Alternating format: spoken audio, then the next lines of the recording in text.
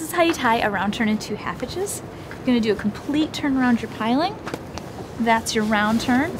Kind of looks like there's two turns, but that's called round turn. And your half hitches always cross over the same direction and the same side. So I'm crossing over from left to right and on top of my standing line. That's one half hitch. The other half hitch is also gonna go from left to right and on top of my standing line. That's two half hitches. The great thing about a round turn and two half hitches is that you can easily untie it even when it's under load. That's because the load is being dispersed through here as opposed to right on your knot. If you look here, the knot is actually pretty loose and I can easily untie that.